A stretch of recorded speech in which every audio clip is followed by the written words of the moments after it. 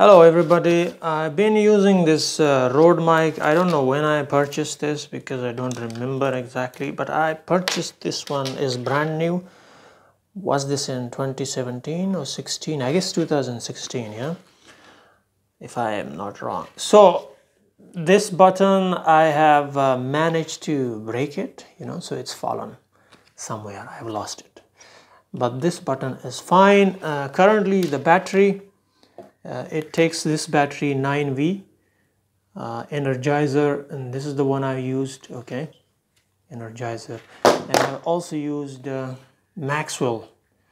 But somehow uh, recently I was trying to find out which uh, one of these two uh, is working or still has the charge.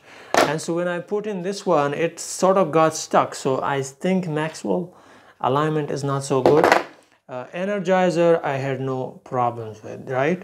So it goes here. I mean if you use rode mic pro this is rode mic pro for video okay? So if you use